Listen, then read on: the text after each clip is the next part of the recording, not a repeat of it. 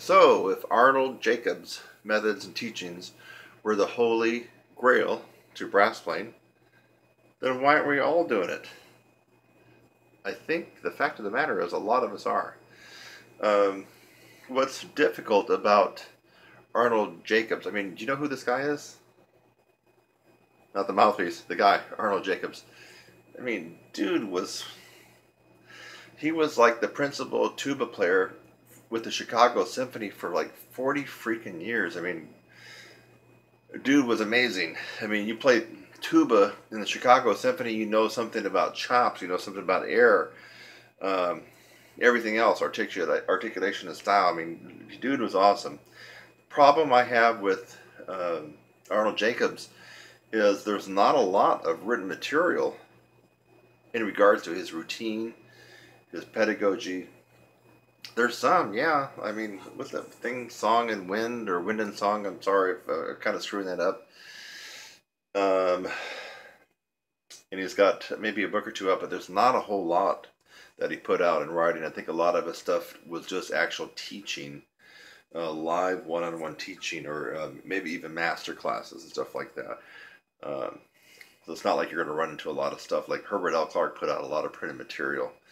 Um, from his cornet solos to characteristic studies, elementary studies, technical studies. Um, but no, Arnold Jacobs, I think his stuff is worthy, especially when it comes to. I've even quoted him on some of the lip buzzing stuff. He really believed in lip strength and embouchure strength I think he even does some demonstrations with lip buzzing. He believed in certain, um, I believe he believed in certain apparatus devices that would help your breathing. I mean, my God, the guy was playing a huge contrabass tuba in the Chicago Symphony. He had to know something about air, something about breathing the right way. So, um, Arnold Jacobs, he's worthy of um, anything you can find on him. Go get it and look at it. Uh, he was playing on this huge bathtub of a mouthpiece for 40 years with the Chicago Symphony. The guy is just amazing. Um, as far as being the holy grail to brass and trumpet playing, I probably wouldn't say that, but I would say he's he's up there. Many of us have actually looked at his stuff. Many of us many of us have applied some of his um, teachings and concepts to um, our own playing. So Arnold Jacobs really is a guy that you should not dismiss. You should be investigating and buying some of his stuff and going through it if you're at all serious about playing a brass instrument. So uh, this is um, Kurt Thompson in regards to Arnold Jacobs, former tuba player for 40 years, four decades with the Chicago Symphony. Amazing. Um, that's my story, baby. Sticking to it.